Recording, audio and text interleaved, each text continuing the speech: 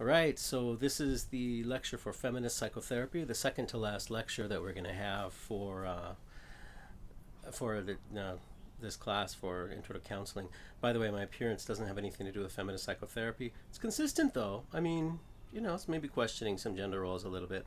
It's just something fun for the stats students who have to watch a lot more videos than anybody any of my other classes. So, I thought maybe I'd look more interesting today for them. So we're going to talk about feminist psychotherapy. Feminist psychotherapy has a different background and a different approach in some fundamental ways from other kinds of psychotherapies.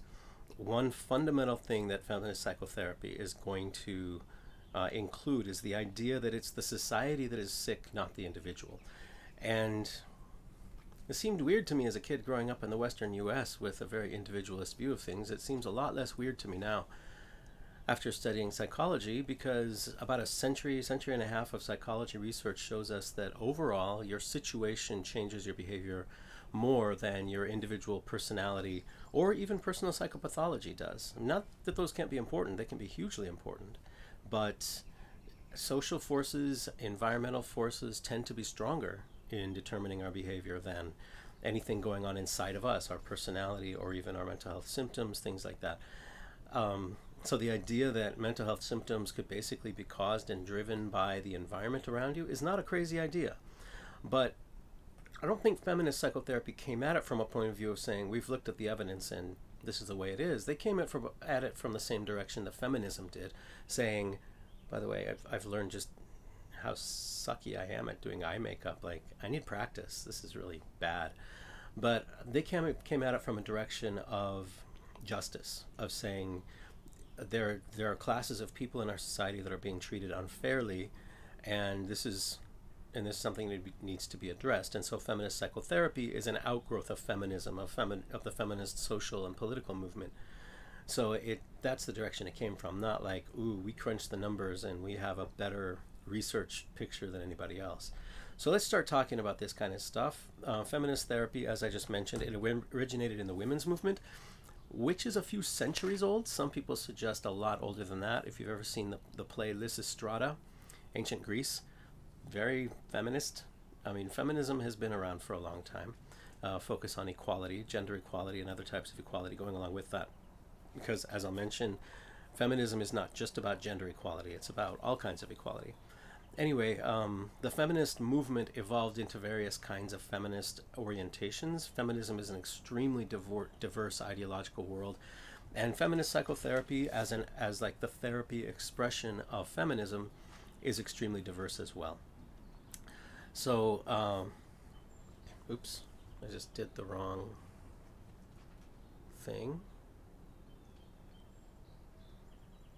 We been going for a little while? Please tell me we have. Is there some way to find out? Yeah, okay. All right, I need to be on this screen right here. This is the screen. Okay, you can't see that, but I had to change what I was looking at or else none of this makes any real sense. And I think I just changed some stuff here that I did not intend to change. Let me just put it back the way it was. Okay. It's complicated. What am I, some audio visual Genius? No, I'm not. All right, so it involved into various feminist orientations, and I'll mention a few of them as we go along. Uh, an important person. Now, you should look at the presentation made by one of the teams. I wish I could remember exactly which one it was. I just looked at it yesterday. It looks reasonable. It's brief, good. Um, that talks about feminism. It's going to make some of the points I'm making here, and it has some other names that you should pay attention to, possibly for an exam. But the big name I'm going to mention is Anna Freud. Sigmund Freud uh, died ultimately of throat cancer because he couldn't stop smoking like dozens of cigars a day. He had multiple operations. It finally killed him. His daughter, Anna Freud, stayed with him, and I don't think she ever married or had a long term partner that lived with her. I could be wrong about that. I don't think so, though. And one of the things that she did, I mean, she dedicated herself to her father, but not uncritically.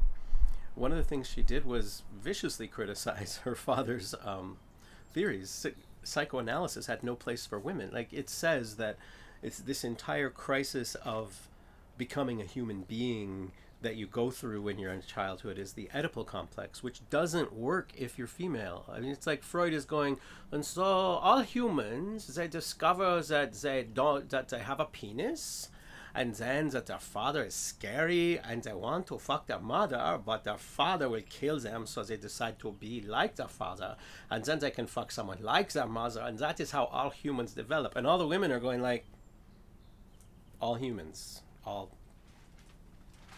all humans.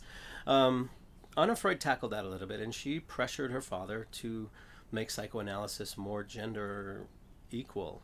Okay, you, you probably already know how I feel about psychoanalysis, but uh, one of its flaws was that it was pretty sexist. It was very androcentric.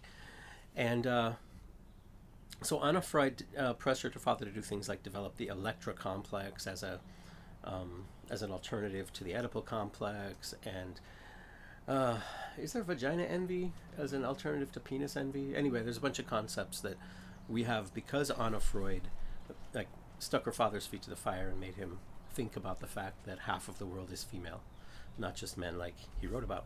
Uh, so she's an important figure in the history of both feminism, but especially and, and especially uh, feminist psychotherapy.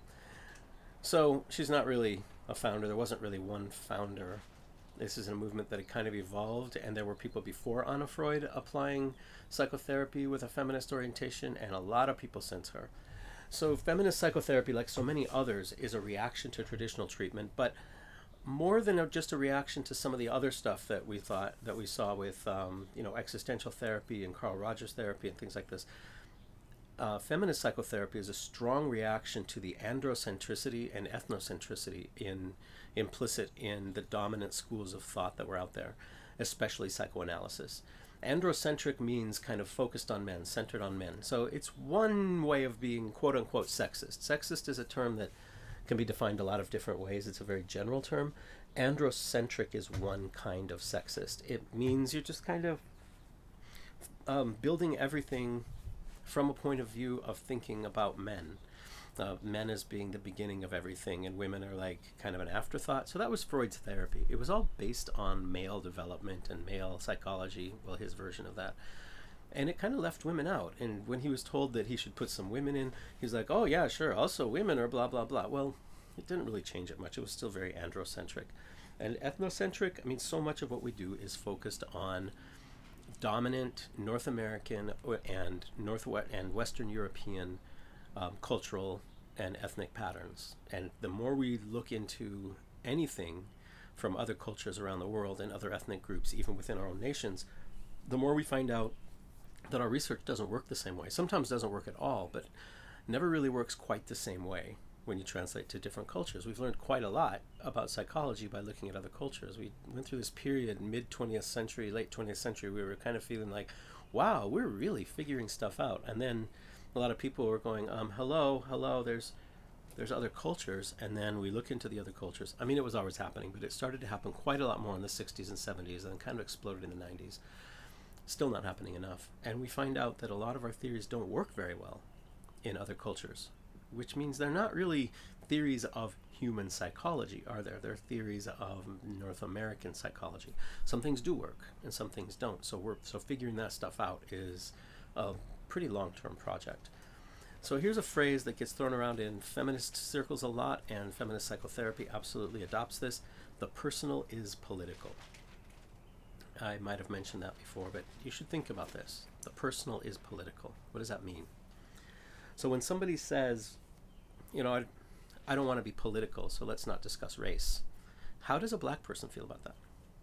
When somebody says, well, that's just uh, that's just about like prisoners, and prison rights are a political thing. So let's not get political. How does a person feel like that if they were in prison, or if they have a family member in prison, or if a person says, "Well, you know, that's about taxes. That's political. Let's not discuss politics at the dinner table because that's just taxes." Well, what if there's a person who is living on like public assistance or gets SNAP benefits, or a person whose child goes to public school? Well, I want taxes to get paid, and I want more of them to go to education. Absolutely, and I want some of them to go to fix my roads and stuff. So these are like my road in my in, in front of my house, my school that my child goes to. Her teachers get paid. You know, that's political, but it's also very personal for me. So that, and that's you know my.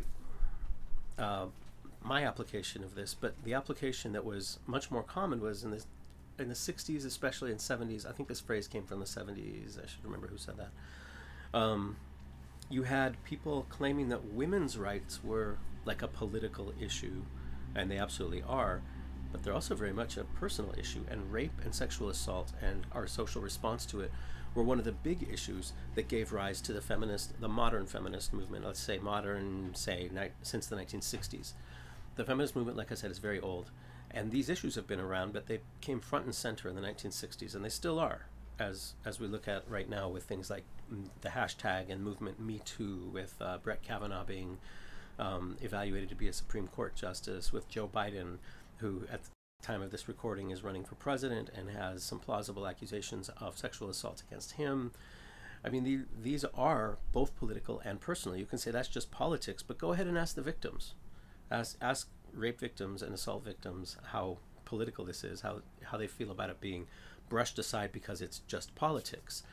Uh, this is this is feminism. Feminism is saying politics is just life you know, maybe on a grander scale with a lot of people aggregated together, but it's life. So the per- what happens to you personally is political. Everything that's personal in your life is also political. So some of the common themes in feminist psychotherapy, um, promoting social change, that phrase, the personal is political. So like breaking down artificial lines between political stuff and personal stuff, embracing diversity of all kinds, an analysis of power and oppression, which I'll talk about briefly, uh, collaboration in the in the feminist relationship, which is mentioned in the other team's presentation very nicely, self-reflection, um, looking inside yourself, introspection, and the concept that inequality is itself damaging. So the idea of separate but equal doesn't work because separate is bad. So now that phrase comes from the civil rights movement in the 1950s, but it's been applied from time to time for all sorts of things, saying, well, we just we just need to treat men and women differently, but that doesn't mean we're treating women worse. Feminists might say, yeah, it does. Like the fact that you treat men and women differently, that is itself a bad thing. That is inherently damaging, and that's an open question. But it but it tends to be a fundamental um, assumption of the feminist movement. So let's talk about what oppression means.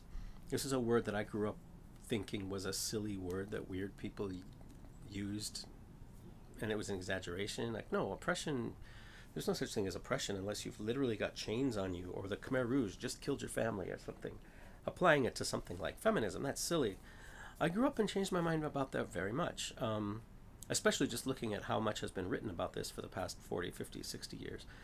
So, oppression, uh, I looked up some definitions of this, and here's one from uh, Linda Napikoski, Jone Johnson Lewis. I don't actually know who those people are beyond this, and to know that they have written some very well received feminist books.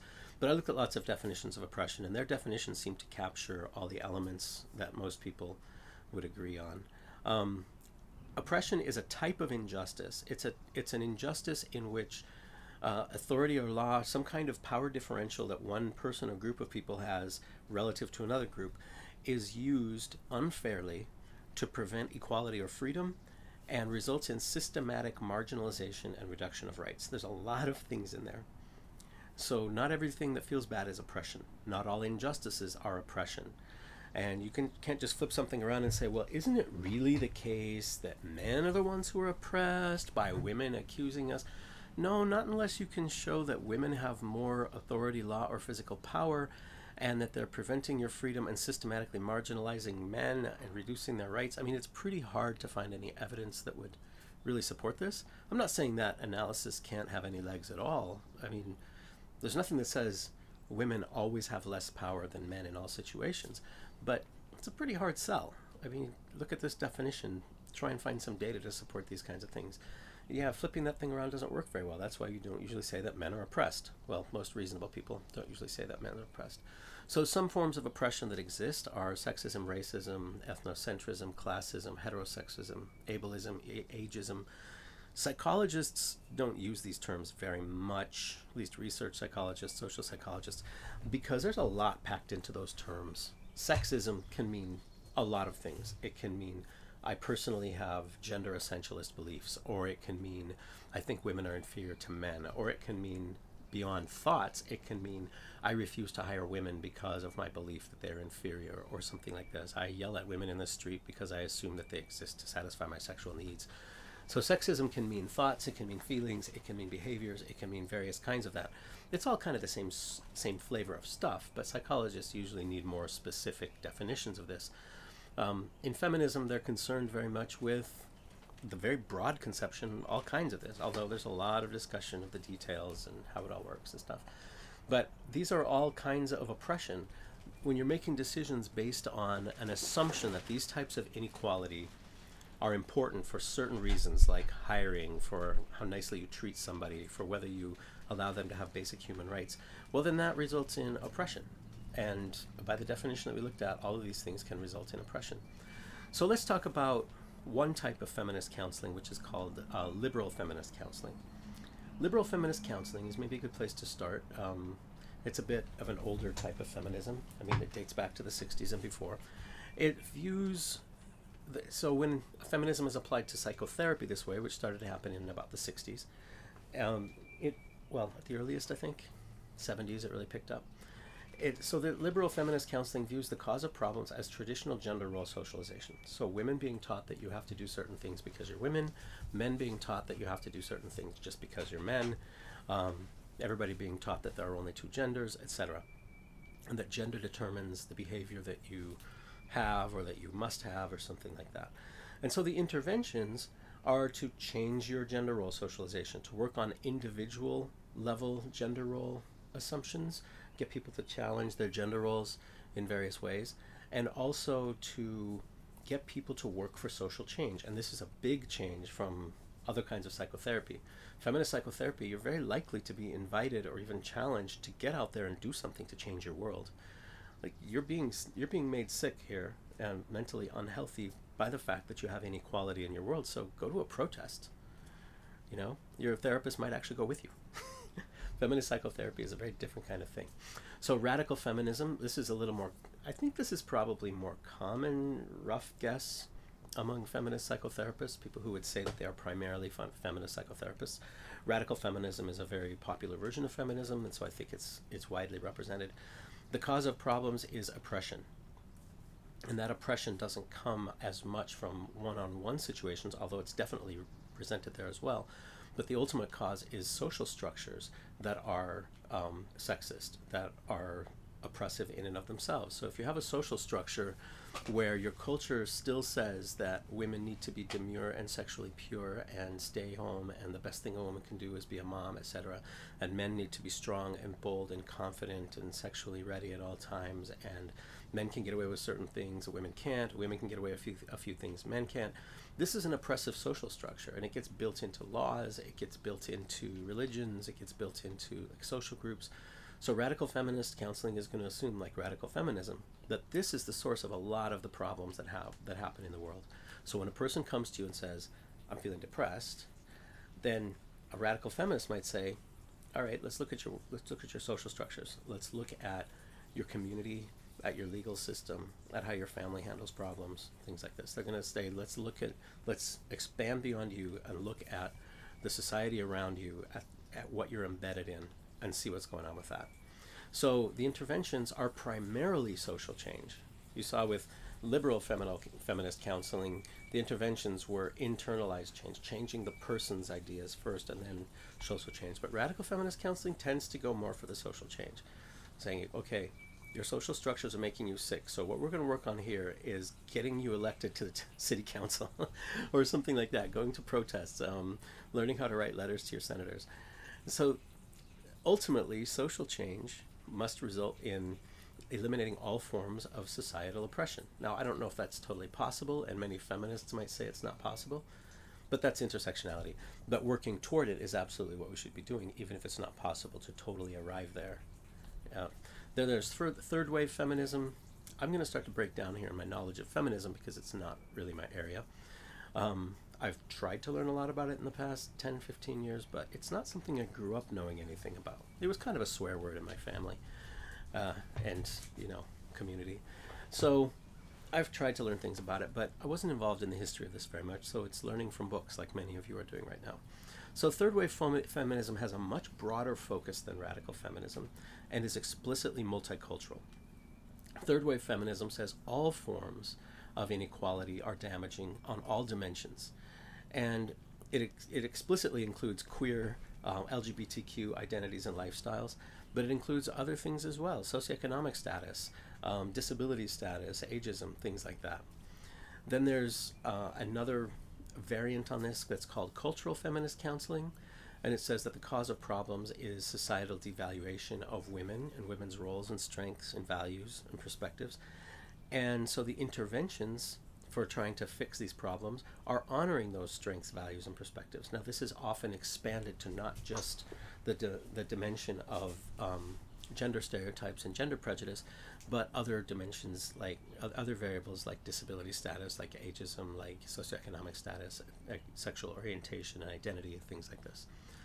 Um, and so the cultural feminist counseling tends to emphasize connected empath empathic treatment relationships above all. Now, all kinds of feminist counseling are going to. They're going to have em- client empathy and connection between the therapist and client, kind of like Carl Rogers, but even more. That connection is critical. The relationship itself is one of the most critical aspects. Um, other third wave feminist approaches uh, include things called women of color feminism, lesbian feminism.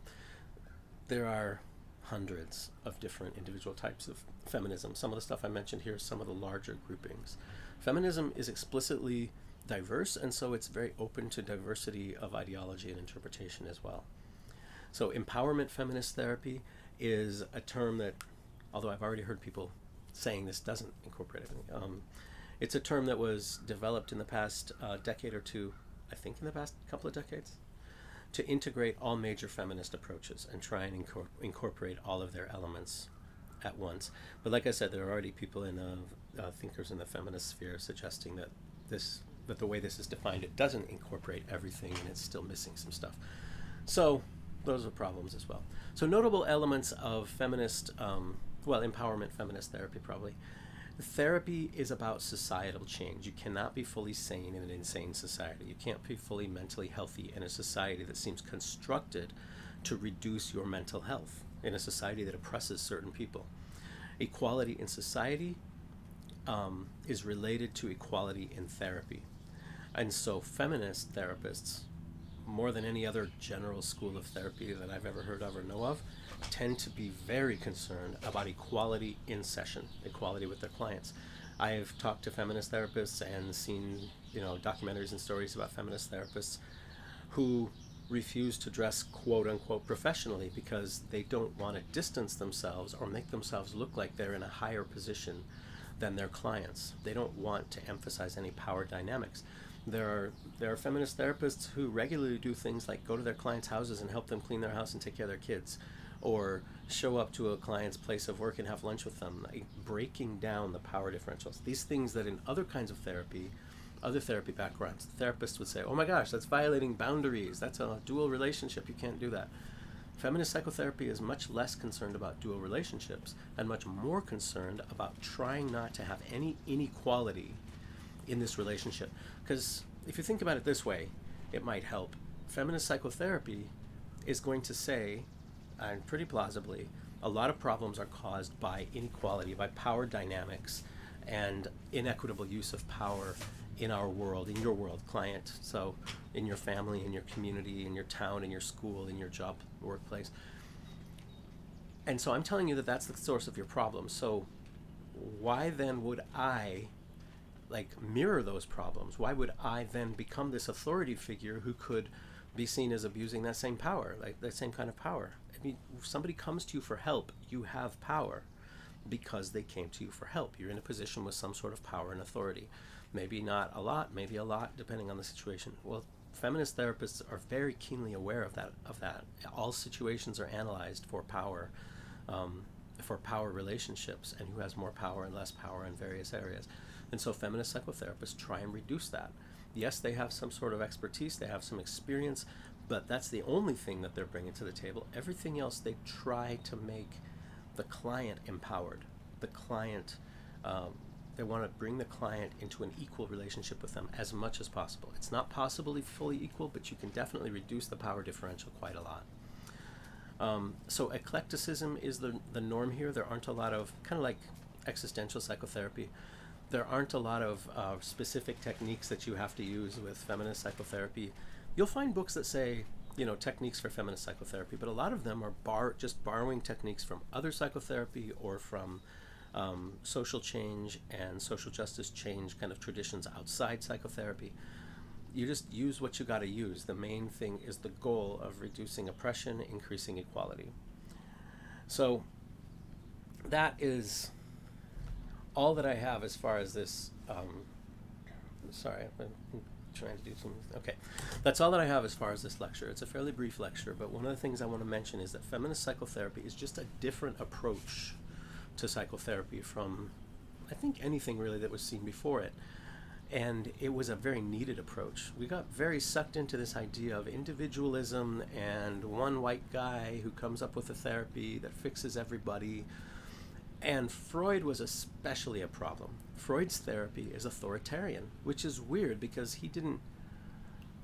He spoke about not liking authoritarianism. He spoke strongly against like the Nazis and stuff like this.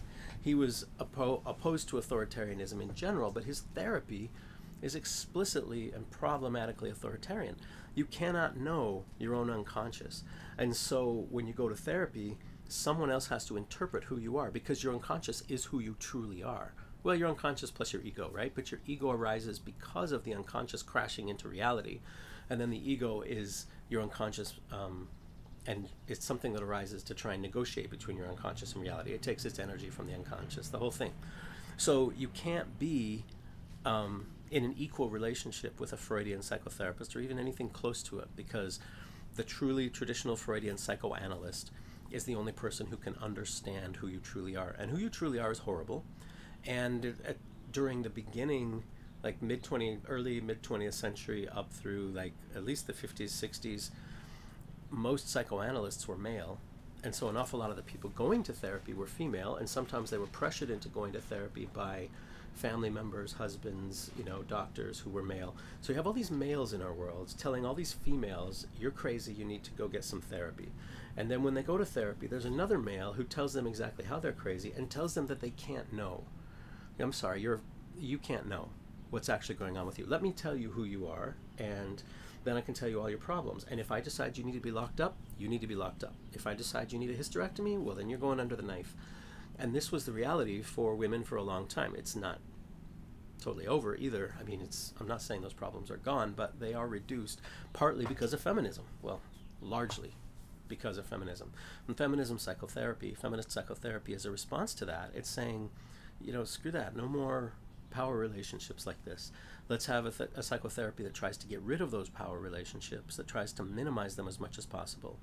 And so, feminist psychotherapy, there's not a lot of specific instructions on how to be a feminist psychotherapist. I mean, there are lots of people who will tell you how they do it and their suggestions. But it's not like there's the Institute of Feminist Psychotherapy that everybody recognizes is the place that gives all the feminist psychotherapy rules. That doesn't exist. It's very much like a mob collective lots of people with lots of ideas, and a lot of the ideas are in common. Everybody's going to agree oppression is a problem. Everybody's going to agree equality is better than inequality. But then beyond that, you'll find some other commonalities, I think. You'll find CBT like, well, you'll find a lot of people who are kind of Freudian, and I think that's left over from how from the influence that Anna Freud had on the field. But you'll find a CBT like emphasis or an Adlerian like emphasis on collaboration between the therapist and the client. And you'll find therapists essentially saying, I can't know your world. Show me your world. You you show me. You're the expert. You show me your existence. You show me your world. I can't know that world. Um, and you'll get a lot of people saying, uh, I am sympathetic to what's going on with you, but because of that, you need to go change something. Like, I'm not going to be okay with you just sitting here and working on your problems only with yourself. You need to be part of change for the world. And you need to help all the other people who are experiencing inequality. You're also going to find in pretty much every kind of psychotherapy, uh, feminist, feminism and feminist psychotherapy that I personally know of, you'll find uh, a refusal to restrict the inequality and oppression concerns to just gender inequality. In other words, that was too many double, triple negatives. All types of feminist psychotherapy and feminism that I know of currently um, insist that equality is important for everybody on multiple dimensions.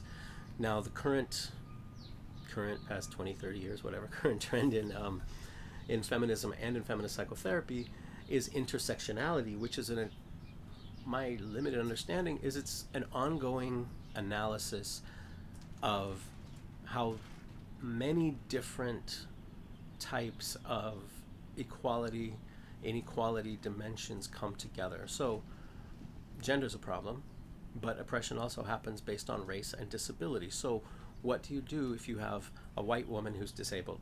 Is she oppressed? What do you do if you have uh, a black woman who's a CEO or a black man compared to a black woman? Is one of them more oppressed than the other? And so, discussing these things, hashing out these concerns, is the focus of the overall trend in the field of psycho of feminism towards intersectionality, trying to work out all this stuff. And this is not just feminism. This is also multiculturalism and I mean, multiculturalism is intersectionality in a lot of ways. So I'm going to wrap this up now. I think you have what you need for the exam that's going to come up to make sure and take a look at the presentation that will be available to you that uh, the students prepared and the questions that they prepared for if you want to do the optional final exam. But some of the content could show up on the regular exam, the last exam as well. And get a good look at this weird makeup because I'm never wearing this again. I mean, I would like to, but all this effort, and I suck at this. How do you do eye makeup every day? I'm just really bad at this. I, I even shaved. I never shave. You can't be a lazy person and have this kind of a look, and I am a lazy person.